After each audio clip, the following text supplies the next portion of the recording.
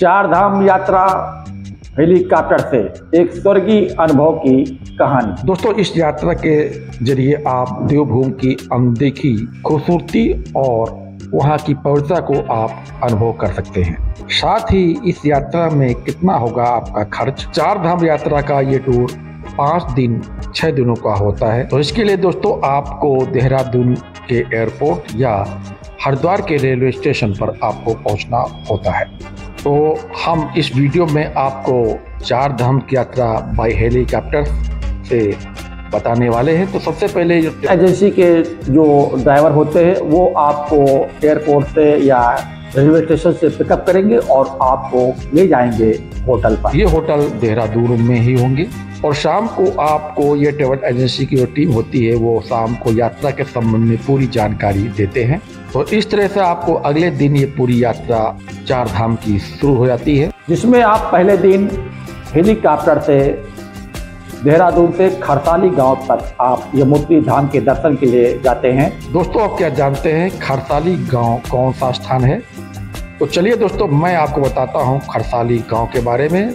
खरसाली गाँव में शीतकाल में माता यमुत्री यहीं विराजमान रहती हैं। और खरसाली गाँव से जो यमुत्री मंदिर की दूरी है वो पाँच से छः किलोमीटर पड़ती है।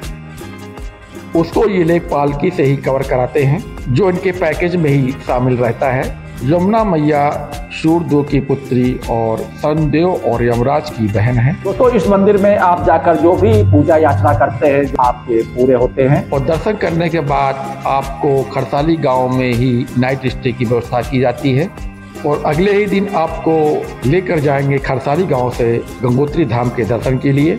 तो हरसिल गाँव तक हेलीकॉप्टर के द्वारा ये लोग यात्रा कराते हैं और हरसिल से 20 किलोमीटर की दूरी जो तय करते हैं, वो गाड़ी से करते हैं। तो जहाँ पर आपको रास्ते में बहुत ही खूबसूरत झरने के भी देखने को मिलेंगे और गंगोत्री माता के दर्शन करने के बाद आपको सूर्यकुंड गौरी कुंड और साथ में आपको भगीरथ तपोस्थल के भी दर्शन कराए जाते हैं, जहाँ पर आप पितृ दर्पण जैसी पूजाओं में भी भाग ले सकते हैं। ऐसा माना जाता है कि गंगोत्री धाम में पितृ दर्पण करने से आपको आशीर्वाद आपके पितृ देते हैं। मानता यह है कि राजा भगीरथ ने अपने पूर्वजों को मुक्त कराने के लिए इस धाम में आकर तपस्या की थी और उस तपस्या से प्रसन्न होकर माता गंगा मैया इस पृथ्वी पर अवतरित हुई थी। इसलिए यदि हम अपने पूर्वजों के लिए यहाँ पर दर्पण करते हैं तो हमें भी अपने पूर्वजों के द्वारा हमें आशीर्वाद प्राप्त होता है। दर्शन करने के बाद आपको ये लोग लोकल साइट सीन दिखाने के लिए हरसिल ले जाते हैं। और आपको नाइट स्टे हरसिल में ही कराते हैं। तो यहाँ पर रिजॉर्ट में के आसपास आपको यहाँ एप्पल की जो पेड़ हैं उनका आनंद ले सकते हैं उनको देख सकते हैं। इसके बाद अगले दिन आपको ले जाएँगे केदारनाथ के दर्शन के लिए, जहाँ पर आपको केदारनाथ मंदिर से 500-600 मीटर दूरी पर आपको उतार देते हैं। और वहाँ पर यहाँ ट्रेवल एजेंसी के जो एजेंट होते हैं, वो आपको पैदल यात्रा वीआईपी दर्शन कराने के लिए ले जाते हैं। अगर आप पैदल यात्रा नहीं कर सकते हैं तो हेलीकॉप्टर के पास आपको पालकी की व्यवस्था भी रहती है, जिसे आप मामूली दावों पर आप इस्तेमाल कर सकते हैं। तो इस तरह से केदारनाथ के दर्शन करने के बाद आपको यहाँ के हेलीकॉप्टर के द्वारा आपको गुप्त काशी नामक स्थान पर ले जाते हैं, जो कि मंदिर से 24 किलोमीटर नीचे है और यहीं पर आपको यहाँ नाइट स्टे भी कराते हैं। मानता यह है कि जब महाभारत के युद्ध के बाद जब पांडव भाइयों के हत्या दोष से मुक्त होने के लिए शंकर भगवान को ढूंढते ढूंढते हिमालय पर पहुँचे तो पहली बार पांडवों को जो शंकर भगवान दिखाई पड़े, वो कुछवासी में ही दिखाई पड़े। जब भगवान शंकर ने पांडवों को देखा तो मट्टी के अंदर भैसे के रूप में छुपने लगे।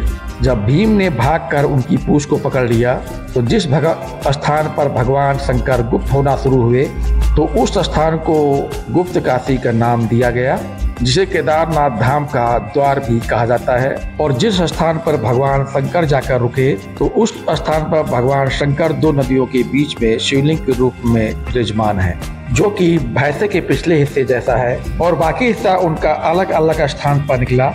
उन स्थानों का नाम पंच केदार नाम दिया गया और सर के हिस्सा नेपाल में निकला, जहाँ पर पशुपतनाथ के नाम से पूजा जाता है। ऐसी मानता है जिसे जीते जी ही मुक्ति चाहिए, उसे केदारनाथ आना चाहिए और जिसे मृत्यु के बाद मुक्ति चाहिए, उसे काशी विश्वनाथ जाना चाहिए। जब आप हेलीकॉप्टर से केदारनाथ मंदिर को जाते हैं तो आपको रास्ते में हरे हरे बहुत सारे पहाड़ नदियाँ व झरने देखने को मिलते हैं जो आपको स्वर्ग में जैसा होने का अनुभव देता है। केदारनाथ मंदिर में जल अभिषेक घी अभिषेक व रुद्राभिषेक कराना है तो मंदिर के द्वारा आपको पैंसठ सौ रुपये की टिकट कराकर रात्र को वहाँ जल अभिषेक और रुद्राभिषेक या फिर आप घी अभिषेक करा सकते हैं। मंदिर के आसपास छोटे छोटे गेस्ट हाउस हैं जिसमें बेसिक सुविधाएँ गर्म पानी भोजन कंबल और हीटर की सुविधा उपलब्ध रहती है। इसके बाद वो अगले दिन आपको ले जाएँगे श्री बद्री विशाल के दर्शन कराने के लिए। तो हेलीकॉप्टर के द्वारा आपको बद्रीनाथ में उतरने के बाद यहाँ के एजेंट के द्वारा जो व्यक्त होते हैं, वो लोग आपको होटल तक ले जाएँगे। एक गाड़ी से आपको वीआईपी दर्शन के लिए ले जाएँगे। सतयुग में माना जाता था कि जो बद्रीनाथ धाम का जो मंदिर है, वो साक्षात रूप में भगवान विष्णु का विश्राम स्थल था। ये मंदिर नर और नारायण दोनों पर्वत के बीचों बीच में स्थित है। ये भारत देश में एक ऐसा मात्र मंदिर है, जहाँ पर छह महीने तक नर लोग पूजा करते हैं और छह महीना तक देवता लोग पूजा करते हैं। एक और मानता है, जब भगवान शंकर ने अपने त्रिशूल से ब्रह्मा जी का एक शीश काट दिया था तो वो सर उनके त्रिशूल में फंसा रह गया था।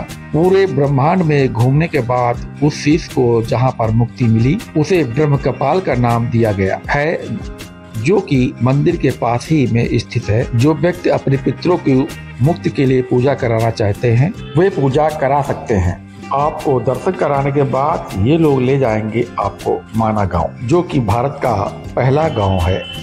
वहाँ पर लोकल साइट सीन देखने लायक स्थान है। ब्यास गुफा, गणेश गुफा, ये वही स्थान है जहाँ पर वेद व्यास जी ने श्री गणेश से लेखन कार महाभारत का कराया था। फिर थोड़ी दूर आगे जाने के बाद हम सरस्वती नदी व सरस्वती माता का दिन मंदिर प्राकृतिक रूप दोनों का हम दर्शन करेंगे। वहीं पर भीम पुल भी दिखेगा। भीम ने ये पुल पत्थर का तब बनाया था जब पांडव स्वर्ग रोहड़ी रास्ते पर जा रहे थे। और वही भीम पुल के बगल में आपको भीम के पैर के पद चिन्ह के भी दर्शन होंगे। वैसे बद्रीनाथ धाम में आपको घूमने लायक काफ़ी से स्थान हैं, जो एक दिन में पूरे नहीं हो सकते हैं। उस दिन बद्रीनाथ धाम में लग्जरी होटल में ठहरने के बाद अगले दिन बद्रीनाथ धाम से आपको हेलीकॉप्टर के द्वारा देहरादून में ड्रॉप कर दिया जाएगा। फिर वहाँ से यात्रीगण जिस भी स्थान पर जाना चाहते हैं, जैसे देहरादून एयरपोर्ट, रेलवे स्टेशन या किसी भी होटल पर जाना चाहते हैं तो ड्राइवर के द्वारा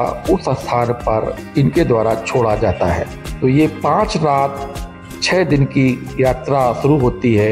एक लाख नब्बे हज़ार से दो लाख दस हज़ार तक जाती है। तो बुकिंग करने के लिए इसका जो एड्रेस है और मोबाइल नंबर हमने डिस्क्रिप्शन बॉक्स में दे दिया है। अगर आपका ग्रुप 12 या उससे अधिक लोगों का है तो आप नीचे दिए गए कॉन्टेक्ट नंबर पर संपर्क कर सकते हैं। यात्रा बस के द्वारा करना चाहते हो तो मेरे डिस्क्रिप्शन बॉक्स में मैंने वो भी वीडियो डाल रखा है तो आप वो देखकर आपको यात्रा कर सकते हैं। अगर आप पैकेज द्वारा, यानी आप वहाँ के पैकेज के द्वारा या कार के द्वारा आप यात्रा करना चाहते हैं तो वो भी मैंने वीडियो इस डिस्क्रिप्शन बॉक्स में दे दिया है। तो दोस्तों, इस तरह से मैं वीडियो यही समाप्त करता हूँ। मिलता हूँ अपने अगले वीडियो में। हर हर महादेव।